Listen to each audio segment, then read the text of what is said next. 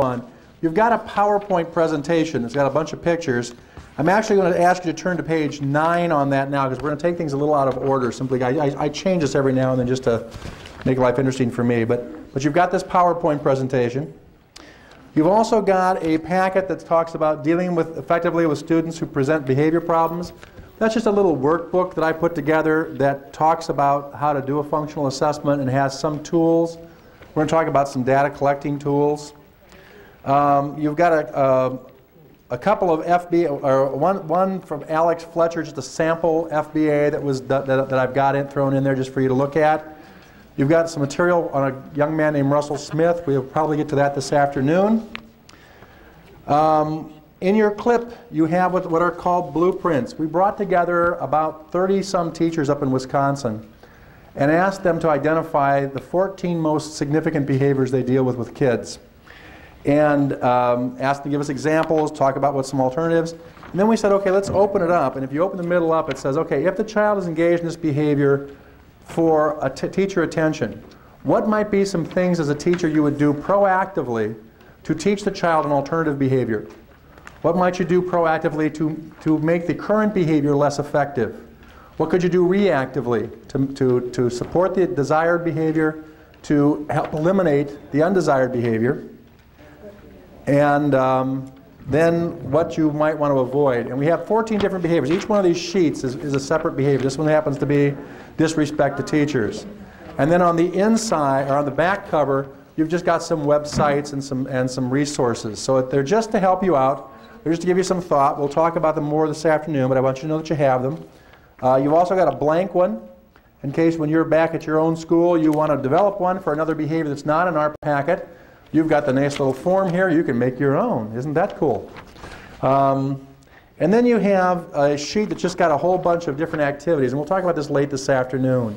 If I've got kids who have certain functions, what are some things my school may want to think about having in place that would allow me to plug this kid in to get some of those functions met. So we'll just use this as a worksheet later on, but those, those are for you. But if you turn to page 9 now on your PowerPoint, we're going to jump over a section and then we're going to come back and we'll pick it back up. But, but I want to get to some kind of preliminary stuff on behavior first. All right, where are my social workers again? Raise your hands high. Be proud to be a social worker. One of my degrees is in social work. Okay, now, how many of you have social skills groups? Do you do little social skill groups? Right? Okay, I'm a little Ricky. I'm in your social skill group. You're probably teaching me to do different things, right? So all of a sudden, Sarah and Lori are playing. I want to join. How do I come in and ask to join? All those kinds of things, right? Now, let's think about this for a minute. Let's say that I'm on the playground, and um, let's see here. We've got your first name? Damien. Damien again. Yeah, Damien. And um, what's your first name? Jim. Jim. Damien and Jim and I are on the playground. Damien has the ball. He's throwing it right between you and I. Jim, we're pretty excited, aren't we? One of us going to get this ball? All right, I'm excited. Are you excited? Absolutely. Jim decides that he decides he wants the ball more than he thinks I want the ball, and he shoves me out of the way. How many of you think I'm going to get up and go, oh my gosh, I have a social problem? Let me think, how do I solve social problems? What, what, is, what has that social worker been telling? Oh yeah, I could ignore Jim's behavior. Mm, nah, I don't like that. Um, I could use my voice. I don't like it when you push me, Jim, and I wish you would refrain from doing so in the future. Mm, no. Uh, I could ask for help. Excuse me, we're having a bit of a social conundrum. Could you give us a hand? Right? Or I could just pop him one. How many of you think I'm thinking this through? I'm going through this cognitive process. No, I pop him one, and if I pop him one hard enough, what's going to happen the next time Damien throws the ball? Jim's going to back off. So not only do I have an answer, I've got a damn good answer. It works. I like it. This is good. Okay? The only problem is, what's your first name? Mary Beth. Doesn't like my answer. So she calls me over, and as a, you know, a good teacher, she would usually say things like, I just saw you hit Jim. And I might say, but Jim, I don't want to hear about what Jim did. Is there anything else you could have done? Now it's a cognitive process. Can our kids generally come up with what they should have done? Yep. Yeah, many yeah, I should I could have ignored the behavior, I could have asked for help, I could have, you know. And what do we as teachers do then? Or as educators? They knew what to do. That's right. Aha! You knew what you were supposed to do, and you chose not to do it. Therefore, what can I do? Punish them. Right? Now, the problem is, is that's not how the brain works. Okay? Acquisition skills are held in a different way than, than skills that we've got down tight. All right? When we're born, we've got millions of these little neurons. And they look more kind of like this one. They're kind of immature, they don't have many branches, they're thin. As we behave, as we act, the neurons begin to bridge uh, to branch. In fact, that's what learning is. It's the branching of neurons to other neurons. That's learning. And they get thicker and they fire with far less energy. How many of you learned to drive on a stick shift? Remember when you first sat down, you looked down, you went, shit. Who developed this? There are three pedals, I've only got two legs, right? I've got to push down on one, let up with the other one, and it's got to be synchronized. The car is going to die, right? And then I've got to look out the windshield, those side view mirrors. I've got to watch the instrument. This is a pretty damn complicated thing, this called thing called driving. Yeah, that's right. Now, does anybody drive a stick shift today? Do you even think about shifting? No, unless you're on that hill and somebody like me comes right on your bumper and you can't roll back a little bit, you don't have to think about it at all. It's automatic. As humans, we can't possibly think through every action that we engage in, or we wouldn't be able to act. So things that we do and do frequently become kind of encoded in terms of, of these neural pathways, and it takes very little energy to act on those things. In fact, I'd be willing to bet you that at least some of you have been driving sometime in the last six months, and all of a sudden as you're driving down the road, driving, driving, driving, and you look around, you're going to go, where the hell am I? A road you drive on every day, and all of a sudden it's like you just woke up and going, I don't recognize a thing, right? It's because we do all this on automatic pilot, right? Now, what I would like you to do is, like you've got your handout or a piece of paper, your note paper, the, the, the, the hotel gave us notepads and pens. I'd like you to take the notepad and a pen. I want you to write your name, first, middle, and last name in cursive with your non-preferred hand. Are you kidding? No, I'm not kidding. Non-preferred hand. Need our middle name. Middle name. Your whole name? Whole middle name. You should be done now. Come on, people. Let's go. Hurry up. It's taking you so long.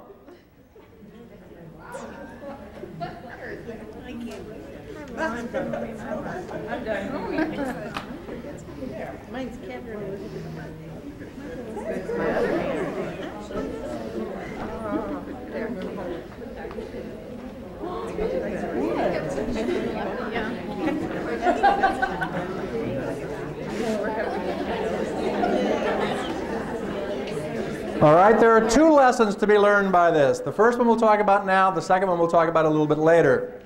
How many of you had to think about how to form at least one of those letters? Now, did you really not know how to do this? You have the knowledge, don't you? What's the problem? That knowledge is linked up in the other arm, okay? The neural pathway that governs that behavior is in your other arm, okay? When my daughter was 15, we were getting ready to go on vacation, and she decided for some ungodly reason, I have no idea why, she decided she would clean her bedroom. We didn't tell her to or anything, right?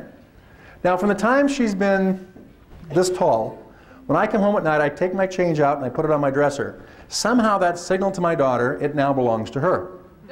I don't know how that signaled her, but she would come and she steals my change, and it's gone into this glass jar. And again, since she's been about this big. So she was moving this glass jar of coins, and the jar shattered and severed her thumb. She lost both tendons and one nerve. So instead of going on vacation, we went to a plastic surgeon so her hand could be repaired. Okay? For the next eight months, everything she would normally have done with her right hand, she had to do with her left hand. Can kids learn to do that? Yeah, by eight months she could write pretty well. She could hook all the things 15-year-old girls have to hook, right? All those kind of things that, you know. Is it easy? No. When we ask kids to change their behavior, it is like asking them to change the hand they write with. It is not going to happen because we've told them twice. It's not going to happen because they're 15 and should know better. It is only going to happen when we give them the new behavior, allow them to practice that new behavior as a response to the situation frequently enough that the neural pathway develops to be able to compete with the neural pathway, of the behavior we want them to give up. Okay, we've got to remember that when we're changing behavior. This is not a quick and easy thing. It's a process, and it's a process that takes time and feedback. So again, part of the issue of doing a functional assessment and developing a behavior intervention plan is making sure teachers recognize the challenge they're taking on when they go about trying to change behavior. Okay? If knowledge were all it took to change behavior, people, I would be thin. Okay? While knowledge is necessary, it clearly is not sufficient. Okay? There has to be something more. So you've got to keep that in mind when we're working with kids and their behavior. We also have to keep in mind how schools work. Again, that's that unique place. All right, we'll play with this one for a little bit. I like this is the part I like best of this whole in-service. What's 4 plus 4? People. This is the easiest question you're going to get all day. I absolutely guarantee it. Some of you have already learned it doesn't, doesn't, is not worthwhile risking here. Okay, 4 plus 4 is? 8. 8. How did you learn this? You practiced it. Anybody learn a different way? You all just practiced it. Counting, yeah. Somebody gave you manipulatives, right? God. Okay?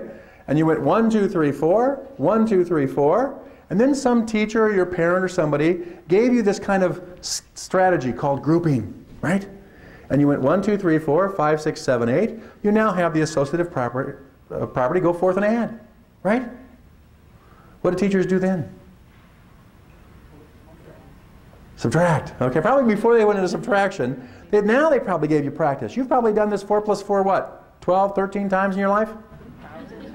Yeah, hundreds of thousands of times, right? Do you ever go to the store, pick up items, add it in your head, and come up to the counter, put them down, and find out that you misadded? Yep. Yeah, so even though you've done it thousands of times, we still make mistakes. Important to remember with kids when they're doing behavior change. There are going to be backsliding, there's going to be mistakes. Okay? Now, Let's say that I grew up in a school district. We'll pretend it's Chicago Public Schools, once called the worst school district in our country, right, by a former Secretary of Education. Wasn't that helpful? All right.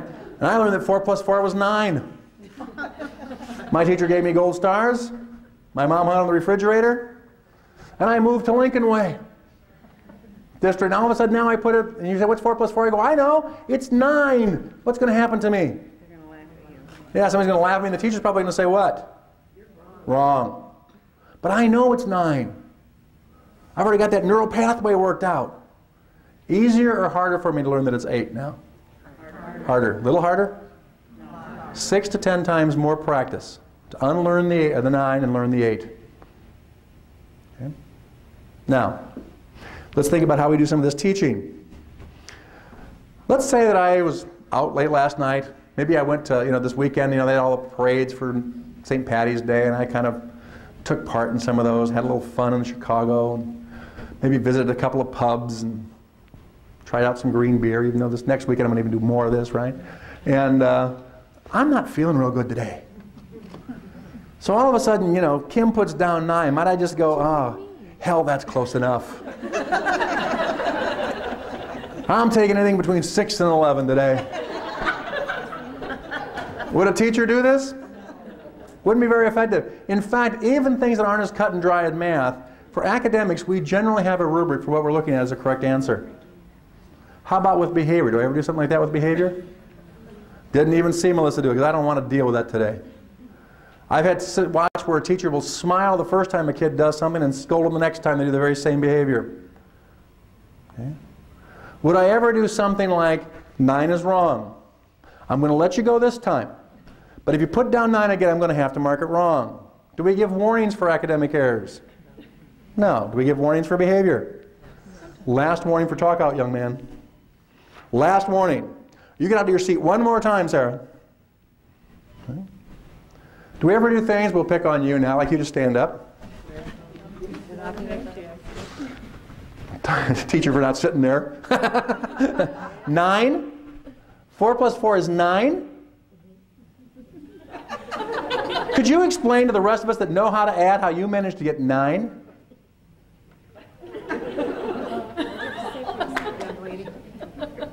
It's no wonder you're flunking this class. Sit down.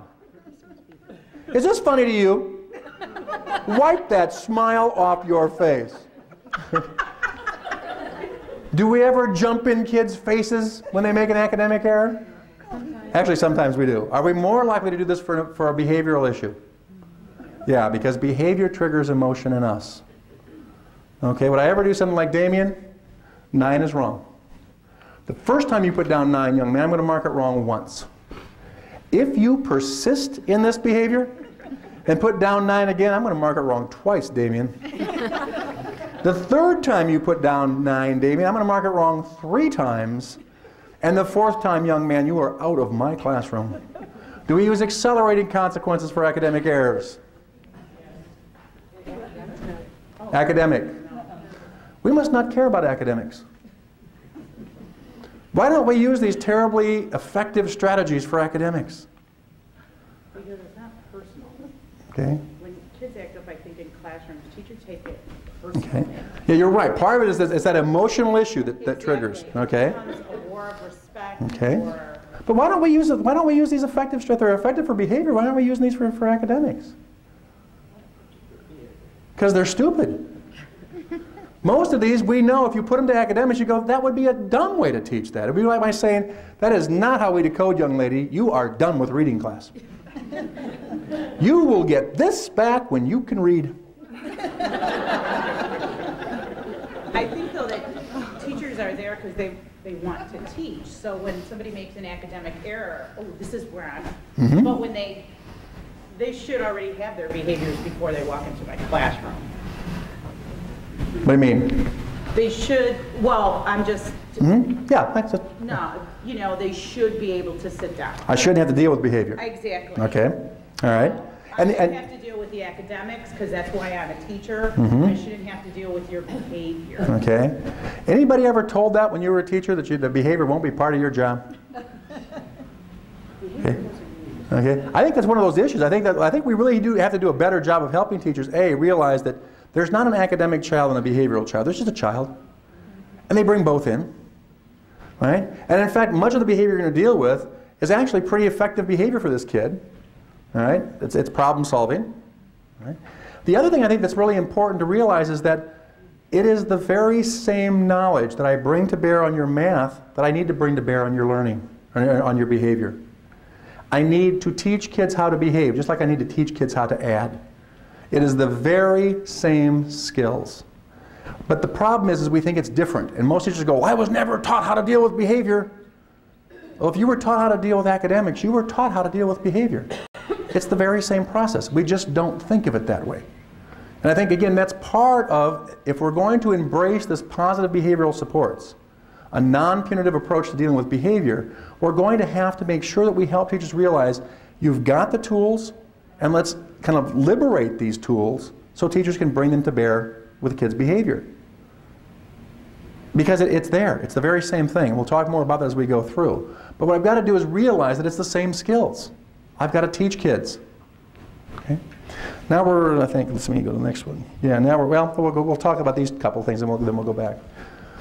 If I'm teaching you that 4 plus 4 equals 8, do I have to teach you what the expected answer is in the process of teaching you? Do I also teach you what are non-answers? I mean, so if you put down 9, do I say, no, that's wrong? Yeah. I have to have clear expectations about what I'm looking for as a correct answer. The same is true with behavior. I can't just tell you, no, Damien, that's not what you're supposed to do. That would be like me trying to teach you that 4 plus 4 was 8 by saying, you just guess the number and I'll tell you when you're right. Nope, not 16. Nope, not 42. Nope, not 33. I've got to teach you what I want you to answer, and I've got to teach you what is wrong answers. The same thing is true with behavior. I've got to teach a child what is the appropriate behavior as well as what's the inappropriate behavior. I've got to be clear about those expectations. I've got to know what I'm looking for. I always get this teacher who kind of goes, you know, Yasmin, Yasmin, Yasmin, you know, and she goes, what? You know what, young lady? I always want the kid to come and say, well, you know, I'm really not sure because the first time I did this, you kind of smiled. Now you're kind of got your underwear in a bundle. I don't know what the problem is here. You know what? Why are you, why are you upset? Right? What's the problem? Okay? Kids oftentimes don't know what it is that we're looking at and why we're looking at it. So I may have to teach them. They should do what they shouldn't do. We ever have problems with respect for authority? No, never. Never. Where do kids learn this? Respect for authority. Hmm. Parents. Have all of our kids learned it from their parents? Not necessarily. So where are they going to learn it? Hmm. Television. Bart Simpson will teach them about respect, right? In fact, most of the sitcoms our kids watch, part of the humor is the kids misbehaving as far as respect for adults. But for some of our kids, that's not, that's, that's the way life is. They really do talk to their parents this way. Now, think about your school, honestly. The kids who are most disrespectful, are they also the ones who are likely to be taught to most disrespectfully by staff? Do kids learn more by what they are told or what they see? By what they experience, what they see. Um, University of Illinois Chicago was, was kind of, I don't know how this happened, but like we've got kind of a partnership now with one of the Chicago public schools. And so the dean called me in last year and said, you know, Rick, you're going to work with a school and you're going to help them with discipline. And I was kind of like, thank you, I think. Okay. And so I thought, well, I better see what the school is like. So I went the next day, and as I'm walking into the school, I'm walking out of the, the second period, I'm walking out of the Learning Center. There's a group of students and a teacher getting ready to come into the Learning Center, a group of students and a teacher getting ready to go back to their classroom from the Learning Center. So there's two adults out there, and there's another adult that has a kid against the wall going, Say it again! Say it again! You better not say it again. and I'm standing there going, Shit. Now, if I don't say anything, if none of the three adults say anything to this, to this other adult, what are we telling 60 some kids? Okay Perfectly okay for adults to talk to children this way. Yet, do we have a way in our schools to talk to each other when we see this kind of thing happening? No. Do we know what happens? Absolutely. So, that first evening, one of the first things we did is we started talking about respect. Usually what I do is some kind of a fun little like fun activity. I give the kid, I give the student or the teachers, I have the teacher meetings. You're, you're the teachers of my one school. I hand out like a blue three by five card. I say, I want you to write down all the behaviors you see kids do that get in the way of their learning here. And I collect the blue cards, and I give you yellow cards. And now I want you to talk about, write down all the things you see teachers do, or that you know you do that gets in the way of learning here. And then I put both lists up. What do you think you find when you do that? There, you could switch the lists. It's, it's really amazing. I've done this in hundreds of schools, and they're almost the exact same list. Now, to me, that's kind of interesting, and it gives us a very, very powerful way to start dealing with things because if we could model better ways that we handle those issues, do you think we could help kids learn how to model, do better ways themselves? Yeah, so the first thing we started talking about, was let's talk about respect. We identified all the things that dealt with respect. Can we as a faculty agree, if you see me screaming at a kid, I'm probably not wanting to do that. He jumped on that last nerve, I lost it, but it's not the me I want to be. So if you see me doing that, I'm going to give you permission, Damien, to somehow intervene. Okay? Now, how are we going to do that? Well, we developed a code. If I walk up and all of a sudden you're engaged in a behavior that's inappropriate, or at least from my perspective, I might say, Is everything okay? Need any help? That's not mean, Is everything okay? Do you need any help? That means, You've lost it, honey. Back off. I'm taking over. Okay? Because that's going to happen. And so it became a process of, as we begin to look at the setting, saying, what do we know we're doing? Let's make our schools a little less pathological. Let's recognize some of those things and find ways to support ourselves as teachers. Allows me to save face, allows me to protect the child. That's the key issue, is we know what's going to happen. As opposed to this everybody kind of going, we just don't talk about it. Or at best, we'll say, we know we really shouldn't be doing these things. All right, everybody got that? Good. All right, go out and do your thing. Okay? Knowing full well it's going to happen. You can't have a, that many kids and not have somebody lose it. So let's admit it. Let's deal with it. Part of the issue now, let's think about when do kids become disrespectful? What kind of things trigger disrespect in a child? I'm, I can't do this. You're up there going, do it, do it, do it. I can't do it. Right? So I'm just going to go, ah, this is bullshit. You and the horse you rode in on, right? What else might trigger my becoming disrespectful? I'm being treated unfairly. You're asking, you're, you're, you're doing something, you know, you didn't do anything to her, but all of a sudden, boy, you're on me for talking out. What's the story here? You're on me for getting out of my seat, and yet she's been clawing around, striping her pencil for three days. All right? Threatened or they feel confronted. Okay, you, you're correcting me in front of all of my peers. Your expectations aren't clear. All right? I don't know what I'm supposed to do here. You're telling me I've got to do it. I don't know what it is I'm supposed to do. I think I did it.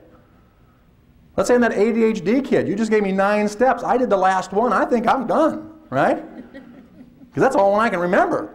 Okay? Now you're on me. I'm going, what? I was fine. Right? The heck's your problem? Okay? Somebody else had their hand up back here. All right? You're just giving me a yeah. All of a sudden you're, you're, you're doing something that's making, making it very difficult for me to, you know, especially if I got to save face in front of my peers. All right? Now, can you think of anything in your school, your school setting, that a kid could say? I think one of the problems that we, what we want them to do is to sit down and shut up in those situations, right?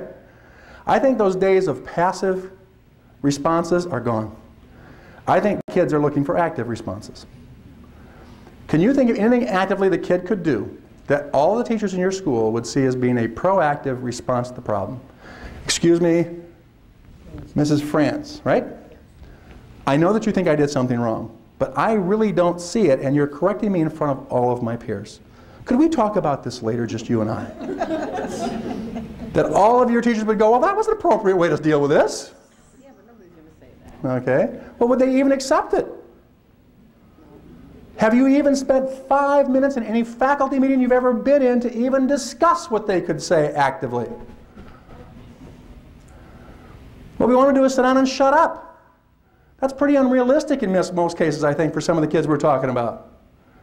So part of what we've got to do is, into another aspect of this behavior issues, we've got to start challenging ourselves to live in this world, to live in this day, and to, and, to, and to teach kids what they should do. Those are those alternative behaviors in many cases that we should be helping them develop. All right, see where I'm at here. All right, how will this be taught? It's going to be taught directly, just like you teach math. I'm going to teach children what the expected behavior is. I'm going to give you practice. I'm going to give you feedback on it. I may set problems up just so you can face them. So we can see do you have the skill. Just like I do when I do math. How many of you were sitting around last summer going, you know what I need is one more curriculum? I got this open spot on Thursdays if I could just find something to teach. Okay? We are over inundated in terms of what we're supposed to be teaching. So what we've got to learn to start doing is double dipping. Can I teach, let's say I'm a, I'm, I'm a language arts class, I'm supposed to teach story, plot, character, setting. Can I do that with a book that deals with bullying as the theme? What I've got to start doing is realizing what are the problems I'm trying to work with and find ways to double dip in terms of material. Now, in most major libraries, there's a book called a bibliotherapy index. If I go in the bibliotherapy index, it will have things like bullying, and it will give me the names of books that have that as the theme at various reading levels. So what I may have to do is while I'm teaching the one topic, I'm going to also have it so that we can discuss issues like bullying. What did character A see the problem as? What did character B? What did the kids do that we're watching? All those kinds of things. Because now as I'm testing comprehension, we're also teaching strategies and, and beginning to uh, be able to introduce information. I've got to learn to double dip. All right, now we're going to go back to where we should have been. Sorry about that, folks, but I just like to have that first part. Okay, so let's say that I've got my wonderful school. We've got a good academic program going on. We understand about behavior. Am I going to have behavior problems still? Absolutely. Okay. I'm still going to have kids who have behavior problems. Now, again, let's think a little bit about school. Let's say I happen to have a young man here. His name's Brian. Brian's a third grade student. He has a mild learning disability. We know a couple more things about Brian. He lives at home with his mom, three brothers. His dad passed away. Mom works a minimum wage job. Okay, we know one more thing. Brian loves pens and pencils. You guys all have very boring pens and pencils here. All right, hold yours up. All right. So Gloria here has a nice pen. If Brian walks in, he yeah, it's one of those that pushes. All right. Brian happens to walk in before Gloria gets to her desk. That might just end up in Brian's pencil box. We're not sure how, but it might end up there. Right, he loves these pens and pencils. We know one more thing. When the bell rings for lunch, he beats it out of that classroom and runs down the hall, and if you happen to get in his way, he's going to knock you over. He's already knocked over a few kids. You are my teachers. You are out in my hallway, and you see Brian come zipping past you. What do you do? Stop.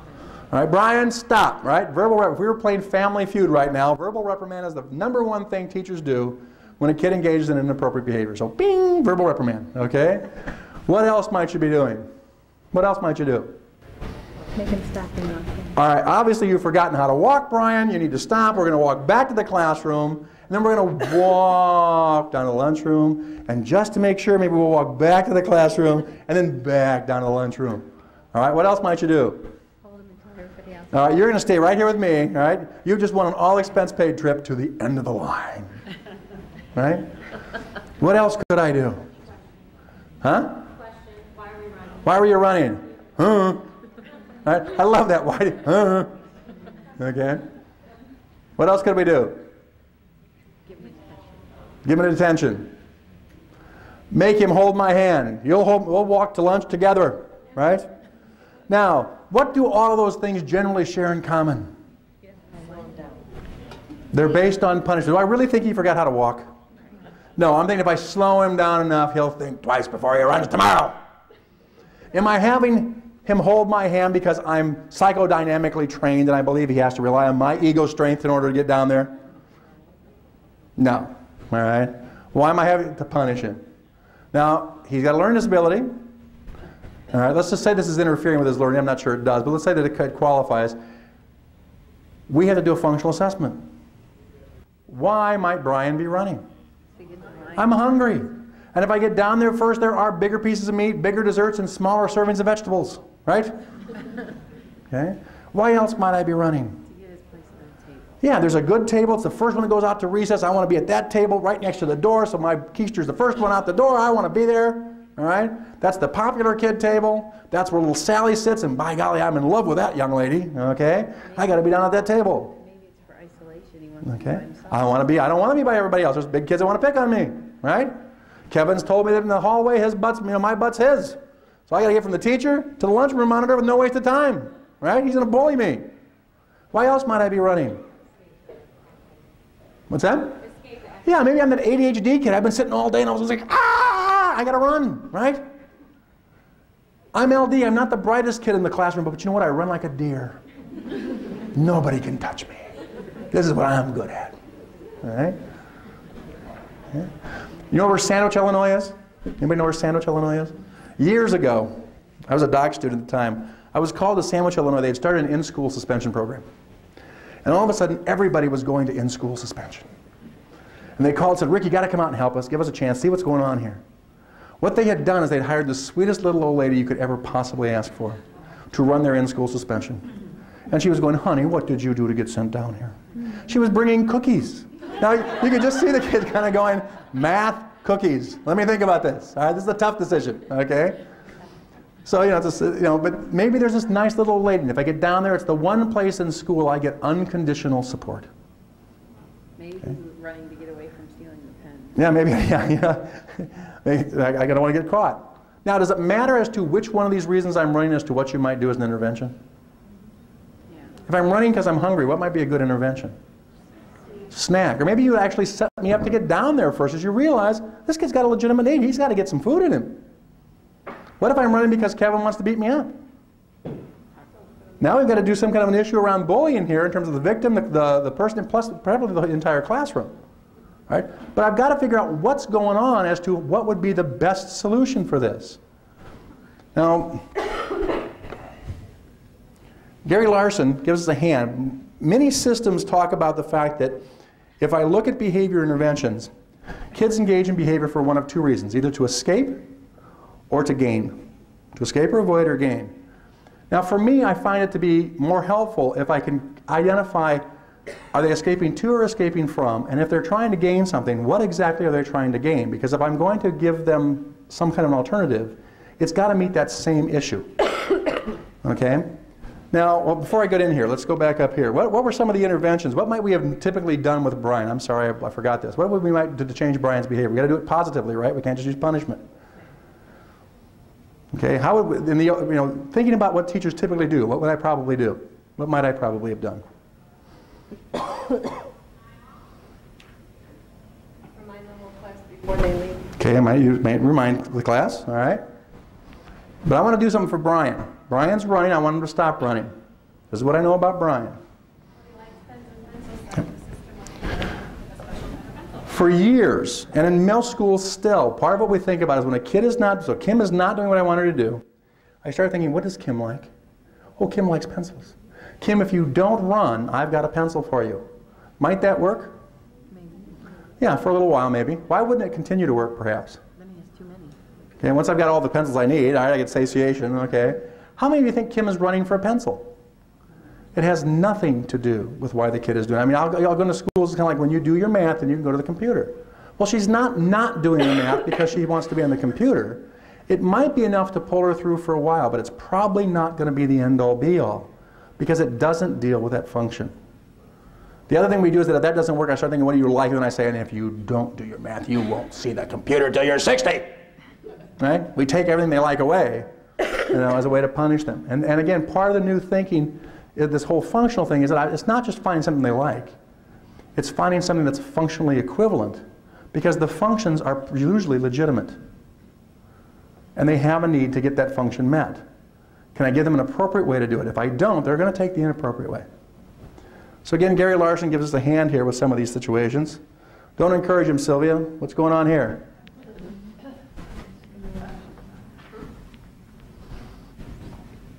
What's happening in this picture? Showing off. What's he want? What's the, what's the function? Attention. Attention. Okay. Do we ever have kids who do things for attention? Now, whenever you have a child do something and you think attention is the function, always ask where does the attention lead? Because especially for small children, unless I get an adult's attention, I can't get anything. So while I need attention, that's really may not be the thing that supports the behavior. It's what the attention leads to. Okay, so always, say, for example, the peacock here, is he only looking for attention? Is that why peacocks do this? They just want the females to attend to them? To notice them?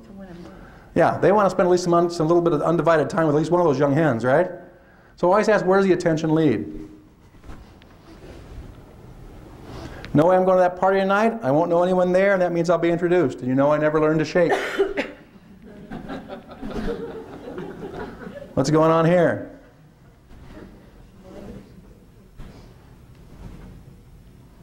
Hmm? Okay, so what's he trying to do? He's trying to avoid a situation where he's got to do something he can't do. Do we ever have kids who do that? All the time. Is that a legitimate need? Absolutely. Is attention a legitimate need? Absolutely.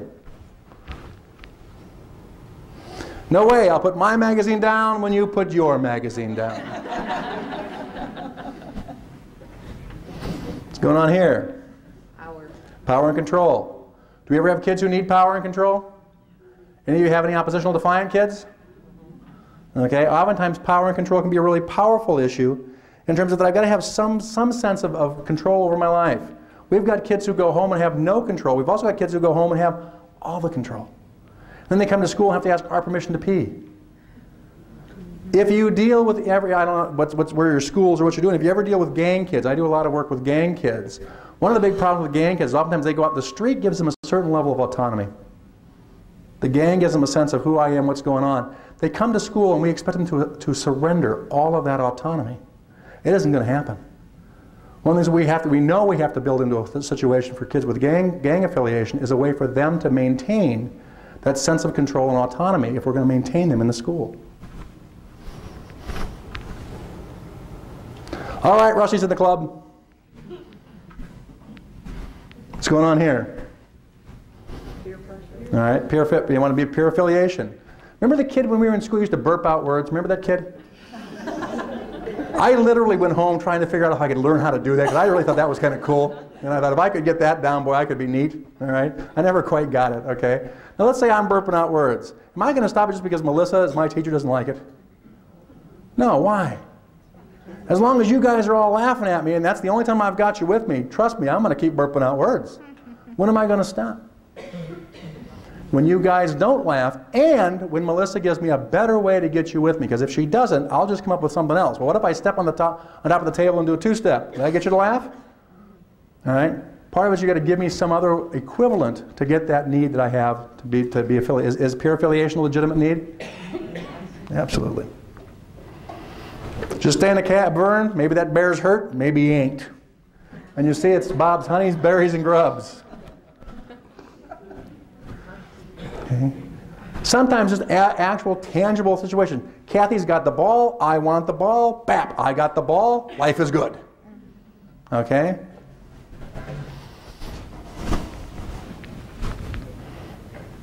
For crying out loud, Warren can't you just beat your chest like everyone else. And Warren's got this fart thing going on under his arm. How many of you teach middle school?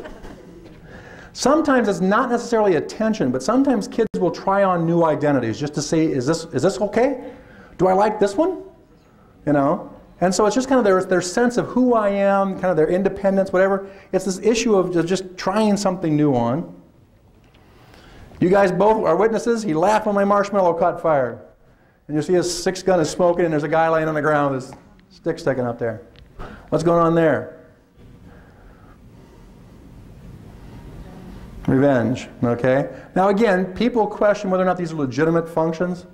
Um, but part of what, at least from my experience, is that you know it- it's, it's what, what am I gaining? And sometimes these are things that I find seem to be what kids are looking for. And if I build my plans to actually feed those issues, I'm going to be way ahead than if I just say it's just to gain and don't talk about what is it trying to gain. So trying to be to, to add clarification for me has, has has at least resulted in I think better plans. Okay. So again, the process becomes one of this issue. What issue? I've got to figure out what's behavior. Now again, how many of you have kids who have only one behavior? So how do you decide which behavior you're going to target?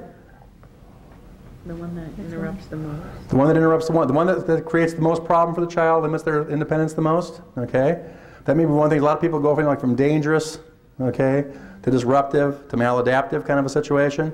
One of the other things you got to keep in mind is who you're working with as a team. The less skilled the team is, I may pick a behavior that they're more likely to be successful with.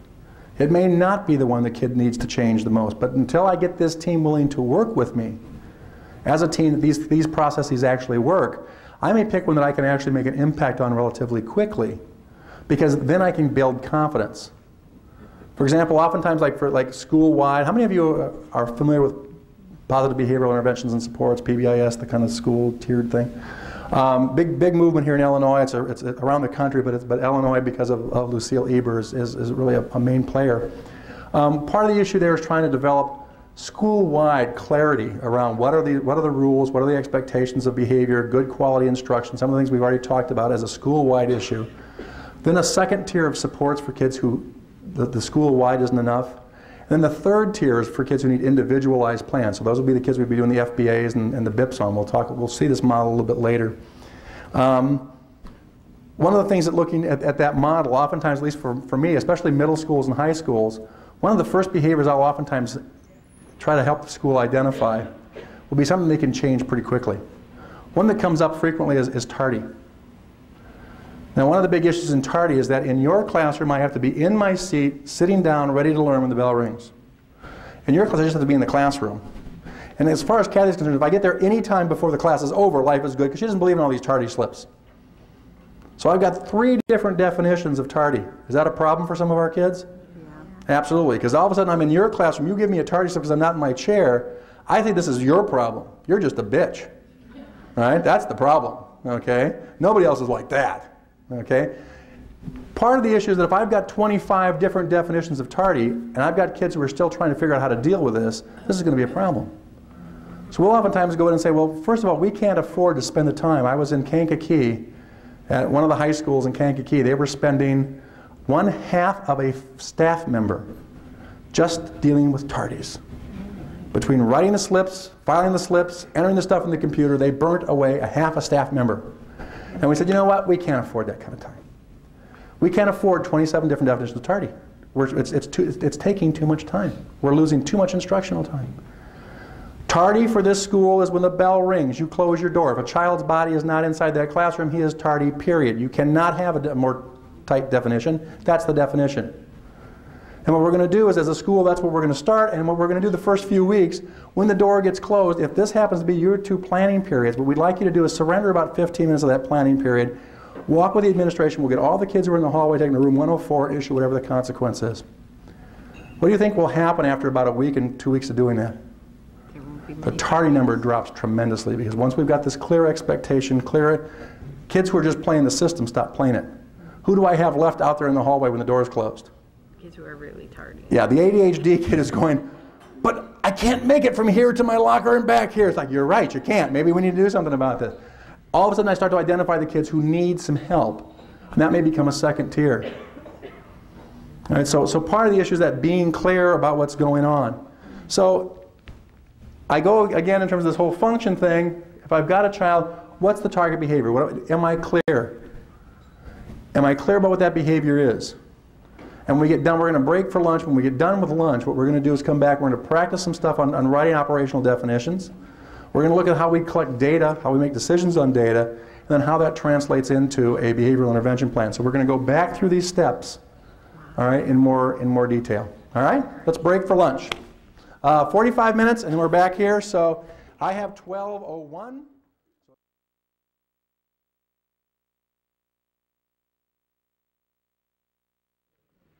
I'm sure that you had a very vigorous discussion of all these things over lunch, and you, that's all you talked about, right? All right, let's go ahead and start up again then. Um, as we'd mentioned earlier, there are, there's no set forms or issues around uh, functional assessment in most cases, but there are a number of strategies or steps that you move through. Again, the issue is identification of a target behavior, from that, you generally have some sort of hypothesis as to why we think the child might be doing this. You then collect data. Sometimes the data has already been collected. It's a matter of just exploring the data to see does that confirm or does it allow you to, or does it lead you to reject that, that initial hypothesis and, and create a new one. You ultimately do some sort of form of verification. You then have what you consider to be the function. You then develop a plan and in most cases, if you've got a child who's engaging in an inappropriate behavior, your plan will actually be two plans in most cases. One plan to make that current inappropriate behavior less effective, and another plan to make a new behavior, a desirable behavior that serves the same function, effective. So oftentimes that's where your positive behavioral supports come into play, is in the building up of the new behavior. Um, you're then going to implement that behavior, monitor it, make sure it's working, and oftentimes they're going to need to be tweaked. Uh, as you're working through things, it needs to be changed or adapted or, or, or altered in some way to fit the, the situation at hand.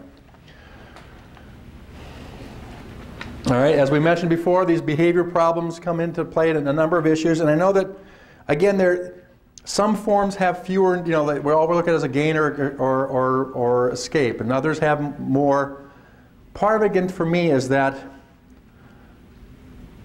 if I can get information that gives me the more, a more definitive idea of what the kid is actually looking for, the more targeted my intervention can be.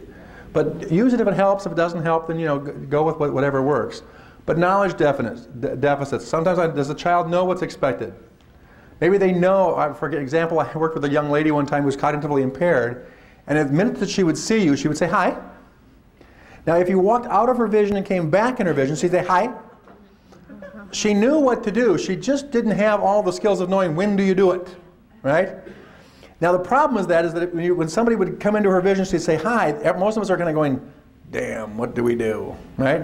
Because she's being nice, so you say hi. Well, then you're reinforcing this inappropriate her saying hi, which just and so it became this vicious cycle. And people would literally walk way out of the way to not pass Loretta so that we wouldn't have to be in that bind in terms of what was going on. Um, to communicate intent, language impaired kids, oftentimes I can't tell you I've done enough of this. I don't understand what you're asking me, whatever's going on, and I'll engage in inappropriate behavior as a way of being able to indicate to you that I don't either I'm confused, I don't understand whatever is, is happening. Sensory perceptual needs. We're going to have some kids again who Stereotypic behavior, for example, is, is, a, is a very common uh, response, uh, oftentimes for kids who, who uh, have cognitive impairments, sometimes kids who have who have vision impairments. Um, and sometimes these can, can lead to a number of, of, issues. They may not have started off being in a situation. For example, kids who are blind oftentimes will push on their eye. If you push on your eye, what do you see? Stars and sparkle and color. That's, you know, if that's all that you've got for input, that, that's pretty cool. Well, the more you do it, the more you have to do it. And literally, they will push their eyes back into their brain. Um, so you may have to really engage in some kind of a serious issue in terms of dealing with these behaviors Um, but it's, it's the, you know, the, the payoffs in, inside. Um, attention, escape, tangible reward, affiliation, revenge, a number of those things that we talked about before. Now, oftentimes I have to, again, when I'm thinking about a target behavior, kids don't have just one, but as I'm looking at my target behavior, I usually want to ask myself a series of questions. Does this child have an inappropriate or an antisocial behavior displayed in place of the of desired behavior? Yes or no? All right, if they do, then they're in this column. You know, no, there's no inappropriate behavior. They just don't show the desired behavior. So, in other words, she's not doing anything bad, she's just not doing the work. So, all I really have to do is just get her engaged in work. Lori, on the other hand, is telling me what to do with the work, and there's all kinds of problem behaviors on top of the fact that she's not doing the work. So now I've got to deal with that inappropriate behavior plus the fact that she's not doing the work.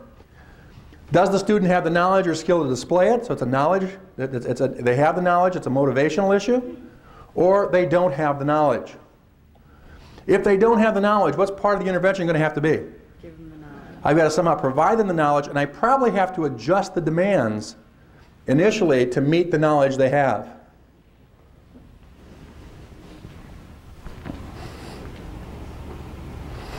In target behavior.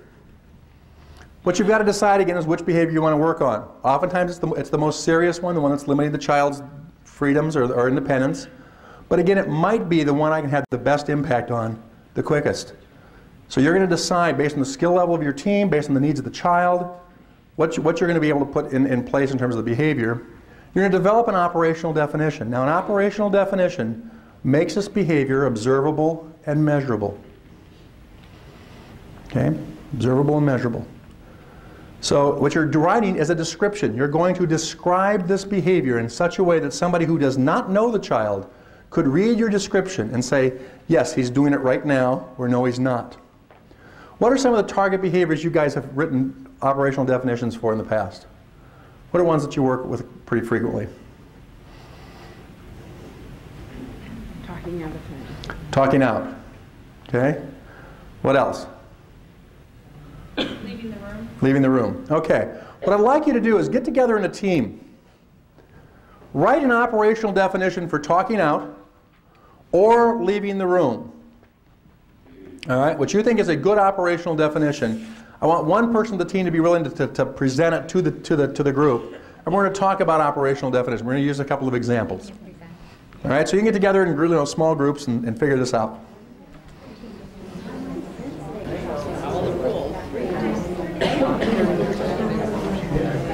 He just wants a definition of a target behavior.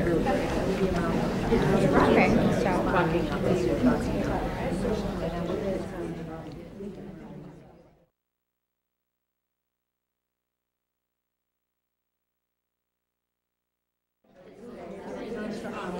One more minute.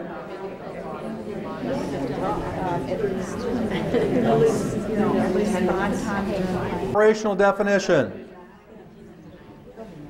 Yes. What, what, which behavior did you do? Talking out. Talking out. Okay. What's a talk out? Any vocalization that occurs without the teacher acknowledging or calling on the student. All right. Any vocalization without the teacher acknowledging or calling on the student. What do people think? Any vocalization without the teacher acknowledging or calling on the student. I disagree. Do we need to put that in context because if it's a group work and you want them to talk? Well, that's what I was. Or do you want to say during instructional? All right, so one issue is, is that that would be any time. So if we were in a group situation, they were talking, they talked, that would be a target behavior, right? Okay? So part of the issue, that, that's one of those issues oftentimes that has to be in place, is that what are the realities around, and and we'll, we'll even look at that a little bit more carefully as you're looking at antecedents to behavior. All right, so obviously we have to think about, you know, what's, what's going on. Any, before we move to that one, any other problems with that one? How about gestures or signs? All right, gestures or signs would be okay. So if I gave you the flip, flip picture of the bird, that wouldn't be a, that would be a, that wouldn't be a talk out. All right, is it a talk out? Some people are going no. Some people are going yes. See, this is the issue. That's you know, if people are worried about vocalizations, that's not a talk out. So that would that might be okay. It might not be. But you want you, what, what you want to do when you're doing this is you want somebody to play devil's advocate with you. Are we also counting this? Are we also counting this? But you also want to be clear. I don't want to have every behavior because then it becomes one of those things that piss me off definitions. If I'm talking about talkouts, I'm talking about talkouts. If I'm talking about gestures, maybe I'm talking about gestures. All right, you've got to decide where you're going to draw the line. Any other problems with it, with- or, or, or, or strengths with that particular talk, with that particular definition of talkout? Um, some of it may be appropriate, like if she asks, what page are we on, or something. I wouldn't consider that a talkout. Okay, so it might be appropriate, so we don't know what to do with that, right? All right, that could be a problem. What's acknowledge mean? What do you mean by a teacher acknowledges it? Like looking at them, maybe. Looking at them. So if I look at them, it's acknowledgement. Calling on their name. Any other problem? Any other way? We don't know what acknowledge means, do we? So could that be a problem when we go in saying, well, I think they acknowledged it? Somebody else says, well, I didn't say that it was acknowledged. All right. You've got any, any once you've developed your, your operational definition, look at each word and say, how loaded is this word to interpretation? If there's lots of room for interpretation, you might want to clarify that word. In some cases, you may have to give examples, all right? Or you might try to pick a different word that's not quite so maybe vague, all right? Um, all right, so it- let's say that we've got a situation where, where her issue is, is that if it's like probably task related. Now the problem with that is what's task related? When do I decide it's task related? What if I say this sucks? Is that task related? My God, I'm talking about this task, and it sucks. Okay? So you've got to be careful when you're doing that in terms of what do we mean? All right? Anybody want to throw another one out? Yeah. Well, Which one would you do? Talkouts? During instructional time, student will comment or make inappropriate verbal remarks like seven to 10 times a class period. Okay. All right. The number you might want to have just to know what's going on, but it's not actually part of the do- operational definition. Okay. What's inappropriate? Talking out. What do we mean by inappropriate?